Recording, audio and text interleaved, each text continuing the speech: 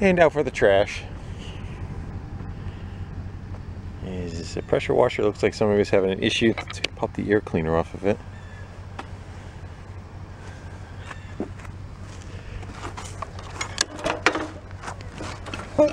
It turns.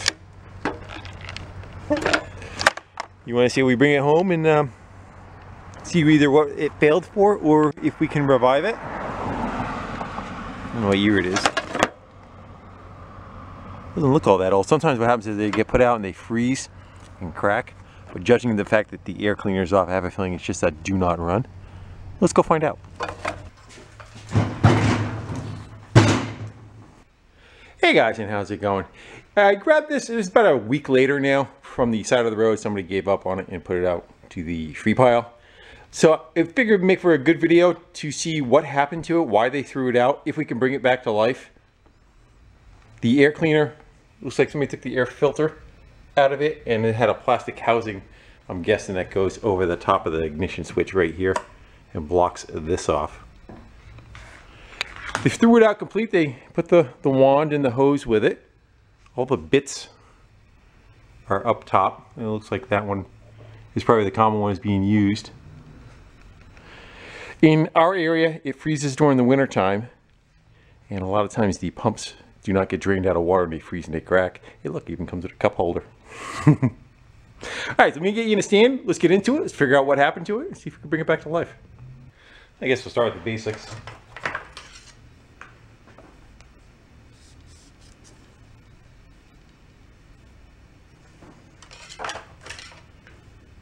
got oil on the dirty side. It's got oil in it.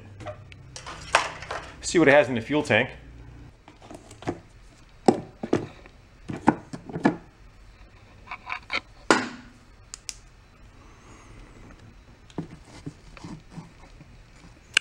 Very little on the bottom. smells pretty bad though. I, Mark's starting to guess that might be what our issue is. Get that uh, cover off the carpet.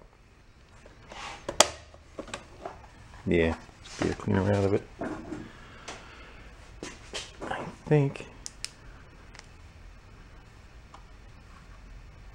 We see a bunch of corrosion. I don't know if you guys are going to be able to see it.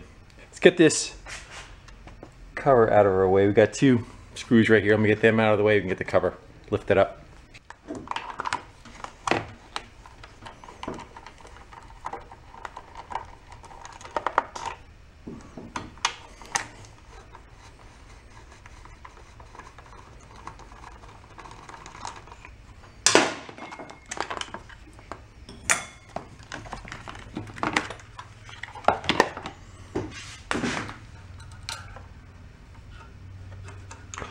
Yeah, I see some crap on the end. Let me get you closer.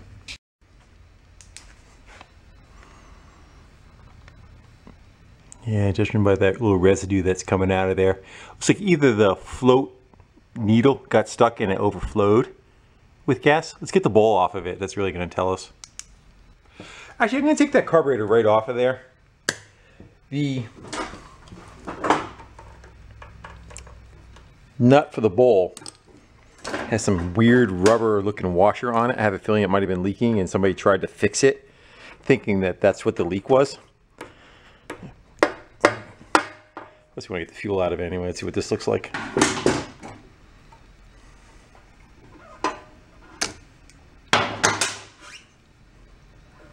Uh, I wouldn't say it's terrible. It looks pretty decent.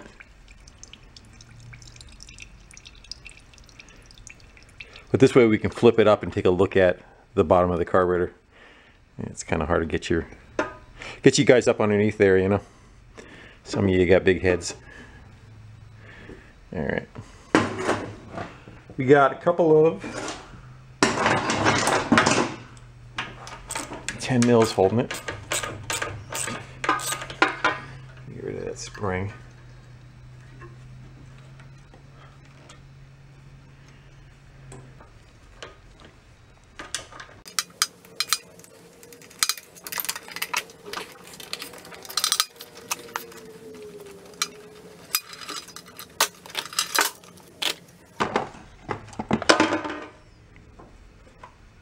So you'll wiggle these out. There's one.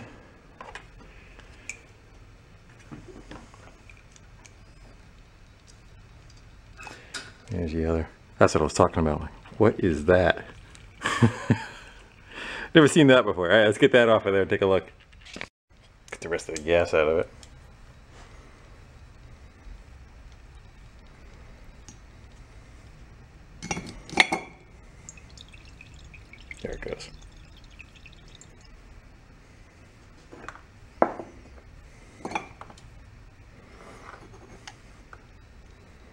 Don't see water in there neither.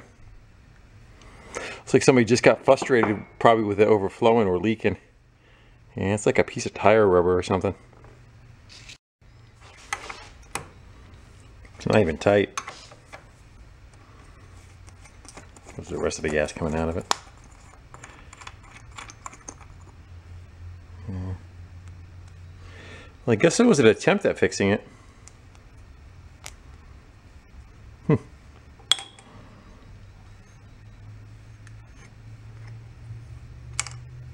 Looks clean.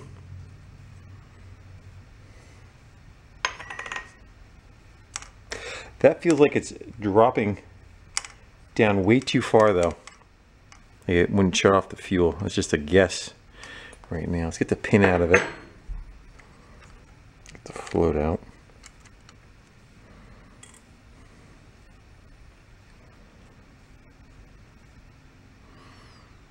Rubber tip on it sometimes I've seen people take an air gun and it won't have a rubber tip on the that's called the needle and that's a seat. Sometimes the other way around the needle will be solid like brass or the color of that metal and then there's an o-ring or seal that goes down in the seat. People take an air gun and they shoot the air gun this way instead of this way and it blows that out of there. I do not see that being a problem at the moment. It does still have what's left of the original gasket on there. But it doesn't look very healthy. I wonder if that's all, or is that like a silicone or something? Hard to say. That is in definite, definite need of that. Carb actually doesn't look bad though. I expected to see it full of crap and it's not. Then again, that whole machine doesn't really look all that bad. Let's get the dump the gas out of it. What's left of it.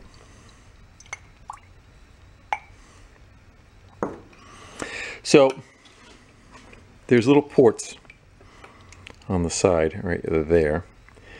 That is where the gas is drawn up in the reservoir fuel. This is this is full of fuel this is screwed up inside there. So that is protruding into the bowl.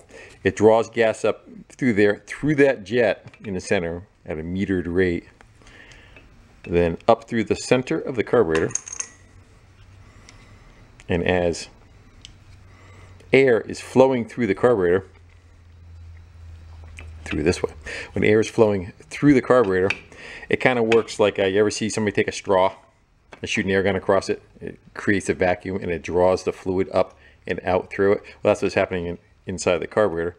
But that jet meters how much fuel comes through and it's trying to uh, dial in the uh, correct air fuel mix. A lot of times when it's either hun, or you got run with the choke on, that process is getting clogged either in here, in that jet, in the little side ports.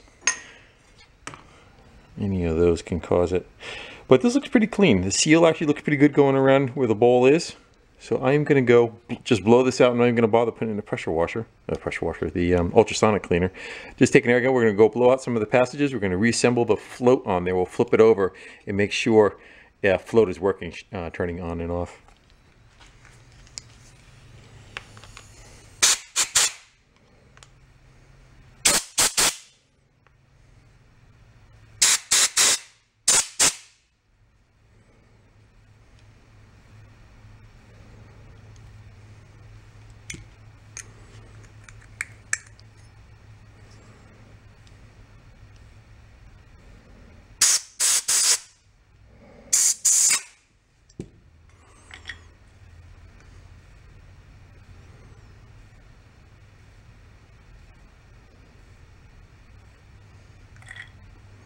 So I grabbed a, a newer carburetor just to kind of show you what it should look like. See that fiber washer that's on there? I don't know what's in this carb. Might be nothing. And see how that one sits. I think what happened when they stacked that rubber piece on there, and what we talked about earlier, the dimension of those little ports that are on the side, those, I wonder if between the rubber, actually let's put the bowl on upside down. So if we put that on upside down and then we stack the rubber on it, I'm wondering if they, they ended up blocking those ports right off when they did that. I think that might be a good possibility what happened. He ended up pulling the nut so far down that it wasn't able to draw fuel through it because they were not exposed.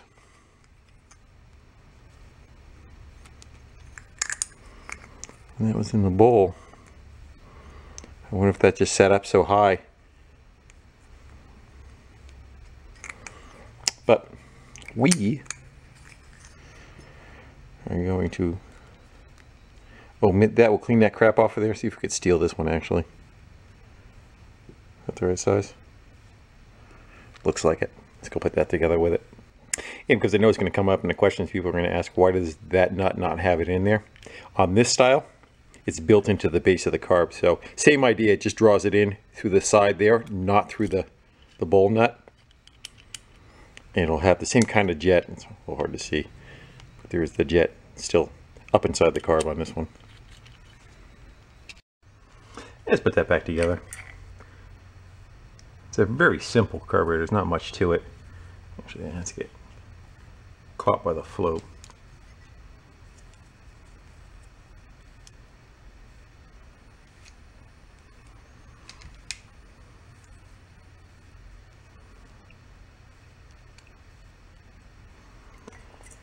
And the biggest thing that needs to happen is for this on off switch to work. Lack of better terms, on off switch. So the gas comes in through here, the carburetor's upside down. She sits like that.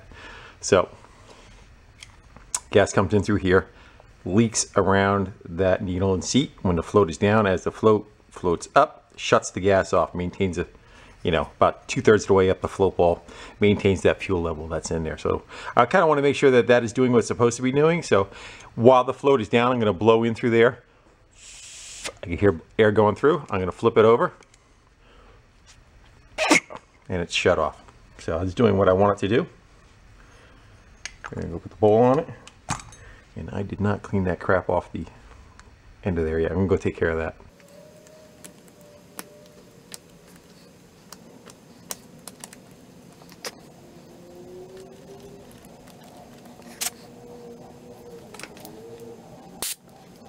One other thing that needs to happen, that bowl crimps down on the seal that is right there. So there needs to be a little bit of an air gap on this bowl. This bowl actually looks like it's kind of sunk in a little bit. I'm just gonna go tap that down. I'm gonna grab a hammer. I'm just gonna kind of recess that a little bit. Seems like somebody really cranked down on that and the bowl is a little on the deformed side. It's not pushing on that the seal very good.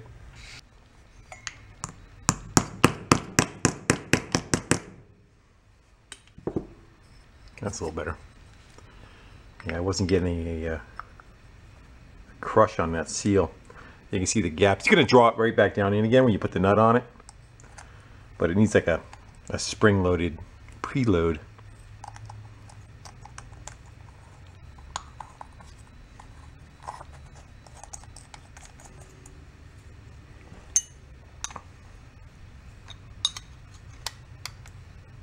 There we go.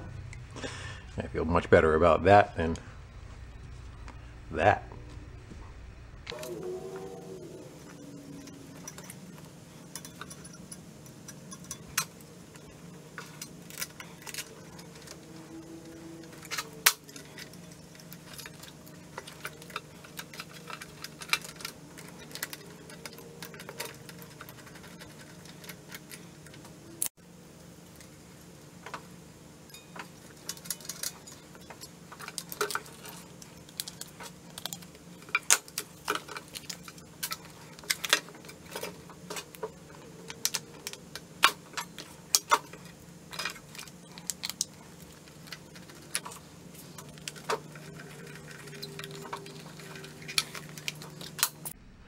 Well, while it doesn't have any gas in it, I'm actually going to go change the oil. It does not have a drain plug on it. And it's becoming a common trait. You just drain it through the fill hole. Lawnmowers are getting to be that way too. Just kind of tip them out. You, sometimes you can use a uh, little suction pump. But this pretty much does it, of course. Let's see if I can prop this up.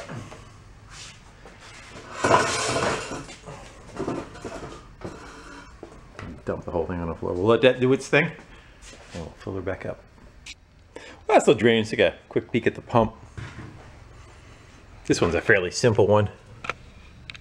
This is for kind of the same idea that the uh, we talked about in the carburetor, where you take a straw and you shoot air across the top of the straw. It'll it'll draw fluid up and out. This is an external port for running a cleaner, and uh, as the fluid goes through, it draws in through here. That's what that little cup holder looking thing on the side for. It's more for like a soap or a detergent of some sort would get attached to that port.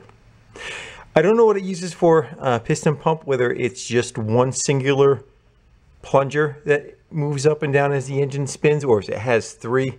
Depends on the quality of them. I have not had one of these really cheap ones apart in a long time. This is a pressure relief or a pressure adjustment on it. That little jam nut and set screw in the top of it. And just fluid in, fluid back out under higher pressure. Actually, what is that? I wonder if that's the uh, the tap for the uh, the mix to go in. I see two different spots, one there and one there. Not sure. You're not supposed to run them with any without having water going through them. The last uh, decent pressure washer that was a friend of mine's, I got called out on that one for firing it up without any uh, water going to it. That pressure washer was run about, tried to be run about 100 times without water going to it. So on that particular one, I wasn't going to do any more damage to it than was already to it. Let's take a quick look at what's going on. There's a screen there. It looks like it's a little bit of crud on it. I'm going to probably hit that with an air gun. Blow some of the crap out of there. Have a date on it.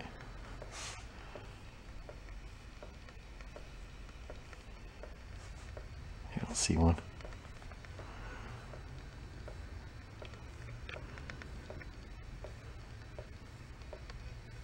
it looks really decent. I can say it's probably five years old. And I would think that that probably right there, you take that out, there's probably an Allen or a set screw. The shaft coming out of the engine probably locks it to the pump. That's just a guess on my part too. All right, get this thing flip back over and get some oil in it. And some brand new yard sale oil from the free pile. So top her off. Mobil One, nothing but the good stuff. These don't really hold all that much. So the air filter that was out of it, you can kind of see where the gas overflowed and came out of the throat of the, the carburetor and contaminated all this. So I think it did sit with bad, yeah, there you go. It did sit with bad gas in it at some point and caused that mess. Or it uh, just was flipped on its side maybe. I'm gonna go wash that out. We'll install that. That's clean enough. I'm just gonna flip it. The section that was in front of the carb, I'm gonna go make that. It was like that. I'm gonna rotate it 180.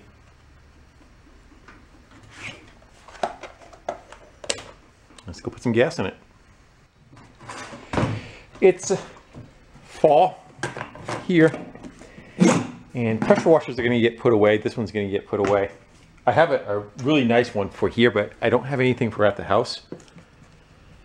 But it's not gonna get used much. This is CAM2 racing gas at 10 bucks a gallon, but it has no ethanol. It's like 110 octane. So I'm just gonna throw some of that in there. We're just gonna pretty much test it, see how it does. And uh, if everything works out okay, it's going to get put away till next spring and get used at my house. And that fuel won't have an issue. Whereas the uh, modern you know, stuff you're putting in your car, uh, would. In my area, uh, non-ethanol fuel is really not available. You can, gotta go about 20 miles to go get it. So, at the end of those hoses, they got some rust on them. The O-rings look okay. I'm actually gonna go clean them up probably with a little bit on a wire wheel and take a little bit of lithium grease and just wipe around those to help with that. And a little credit You can take an air gun and blow through it.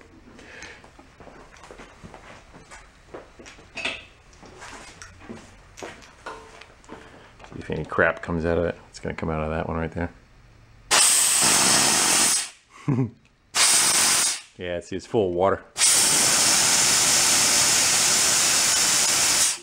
What will happen in the wintertime around here, they'll leave the hose, people just put away, put in the garage.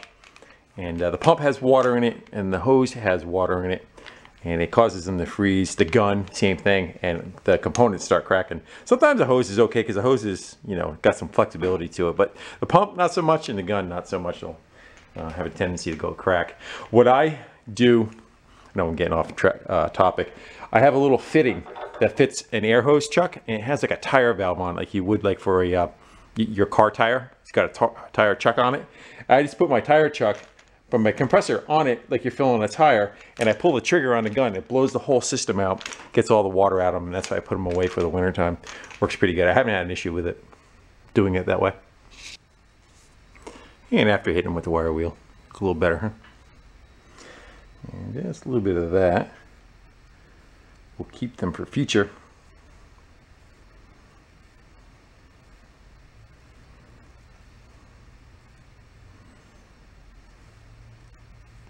A little on the tip. You always need a little on the tip. And have little sleeve. Just got a little bit of rust on. See, let's go put a little bit on the threads.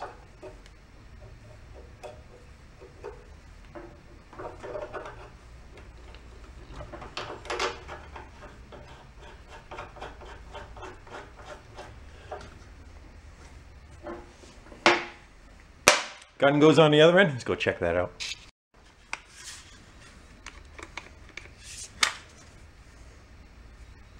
See, I'm just gonna throw a little on the threads. Make a mess. And let's go take a look. There's no tip in it. I'm gonna blow some air through that. Make sure that this is clear. Same idea as what we did with everything else. Missed it. Shot rust out. You have to take my word. Blew a little bit of rust out of the center of it.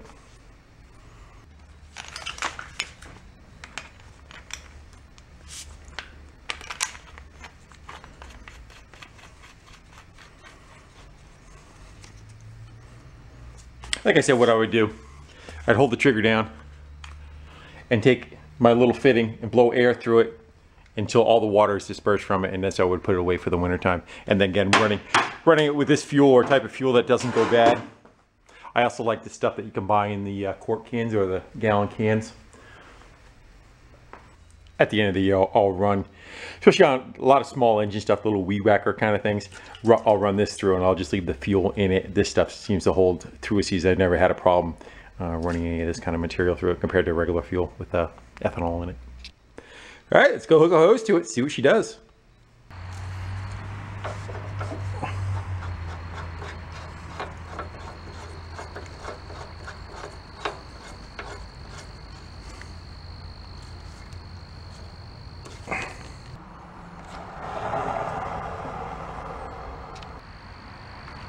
Let's see if we get water thrown through the gun.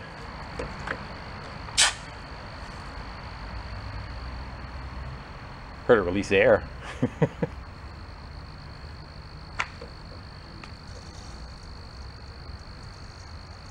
think it's coming. There we go, I hear it. Looks pretty clean, that's a good sign. We say, ready to fire it up? I'm gonna leave a tip out of it for now. I'm just gonna go fire it with no tip on it, see how it does. Give her The choke should be automatic. And you gotta hold the trigger down. Or else it'll kind of hydro lock on you. See what we get. We didn't check for spark or pull the plug, so.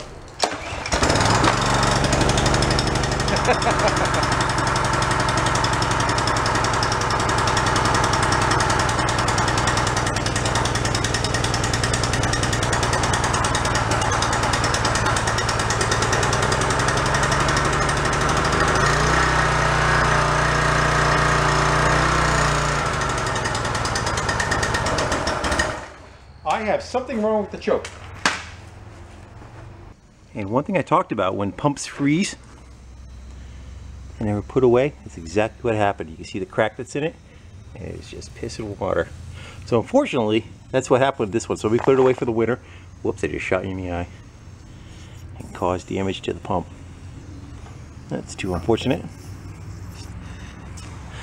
And that's why they gave up, put it beside the road. It still may work, but it's got a crack in the housing. I think I just had one of the plastic nubs on the wrong side of the choke. Let's see what we get now.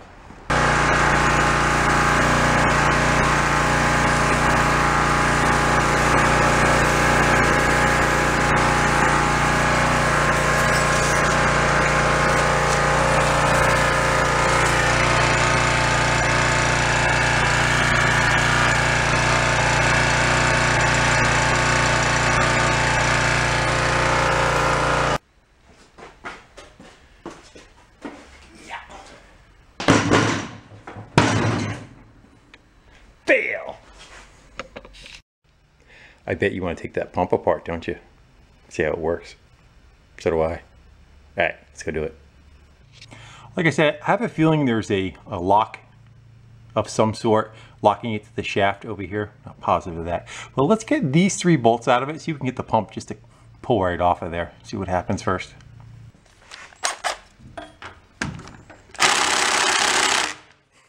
yeah, like I thought that was gonna work.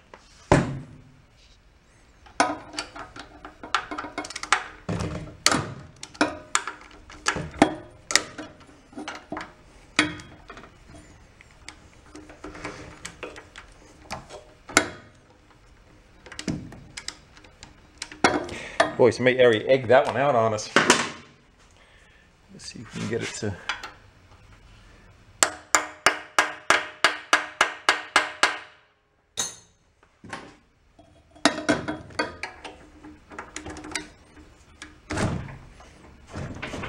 That's gonna, it's gonna tear on us.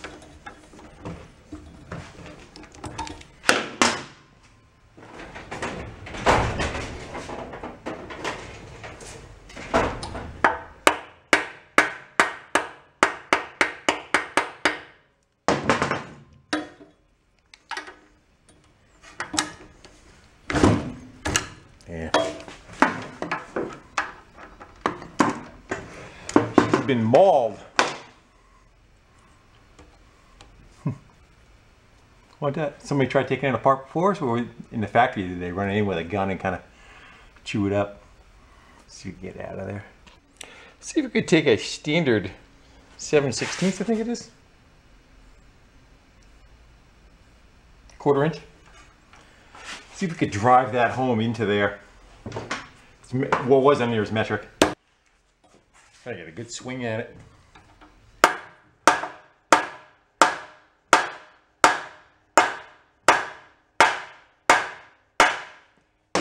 Sounded like it went home, right?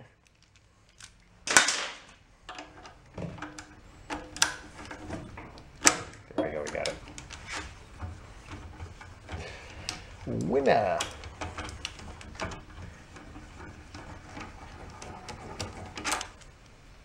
Loctited too.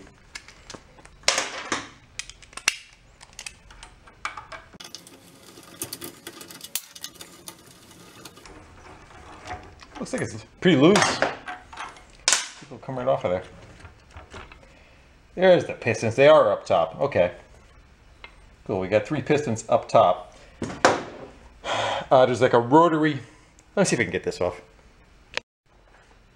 Actually, if I unbolt it, then the engine's going to be flopping around. So I'm, we're going to leave it right on there for now. we get to the pull start? I want to show what what they do.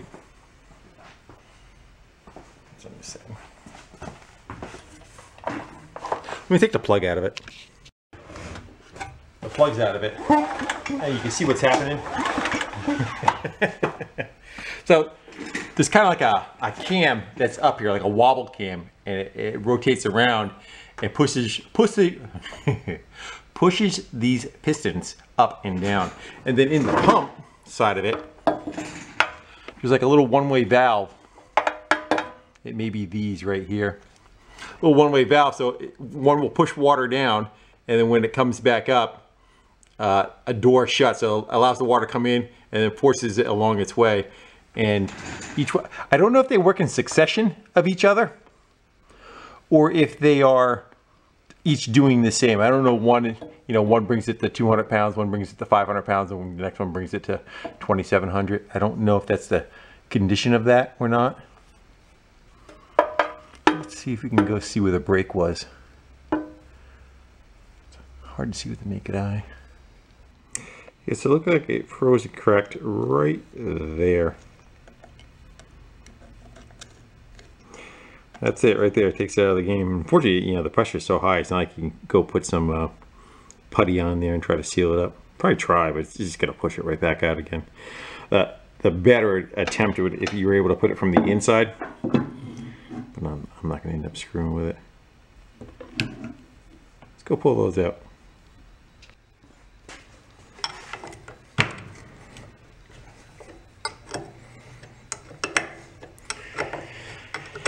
Believe these are spring-loaded. I think.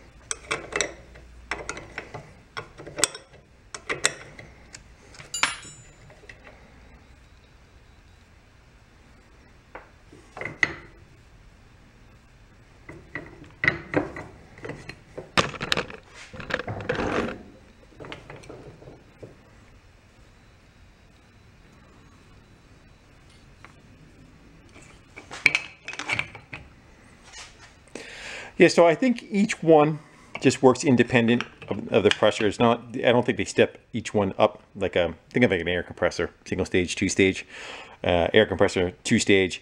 One piston builds the pressure up to a certain level, then the second one takes over. I think each one of these just contributes to this main line of water going out again. It's whatever push that it gets. So this one, say this one fires down, shoots out, we'll call it an ounce of water and then the, the door blocks behind it so it can't go. And it goes, piston drops the other way, fills back up again while it's going around. Then the next one takes over, pushes down, contributes whatever it's, water is going to contribute. Uh, once it's done, the plunger plunges it back off again, and then the third one does the same thing. And it's kind of an even pulse to it because each one is, what's uh, 360 divided by 120? 120 degrees? Each one is firing at 120 degrees of the circle. So that's is what's going on. Again, you could run it. I, have seen people run them for quite a while. It's just it, it's a, a lack of what it's doing, and it just you know, really keeps pissing water out through the side of it down there. Eh, at some point, it, it, you lose more water out of here than you do getting coming out of the, the gun in the front of it. So that's what's inside for those who want to know. Not sure what that is. An anode for corrosion. Why it's made out of that material. Anybody got an answer? waiting.